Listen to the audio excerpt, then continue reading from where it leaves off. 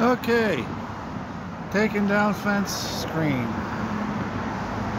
Joy, joyful times. Uh, I had somebody helping.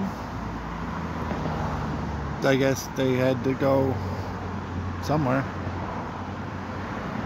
um, almost done with the job, but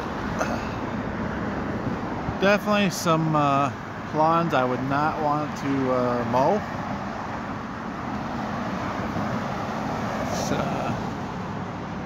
Push mower uh, something I would not want to do.